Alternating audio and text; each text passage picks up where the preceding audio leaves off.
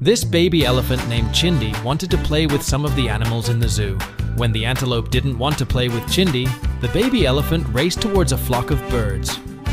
While chasing the birds, Chindi got a little too excited and slipped on the ground. Slightly embarrassed, Chindi hurried back to the comforting presence of its mother.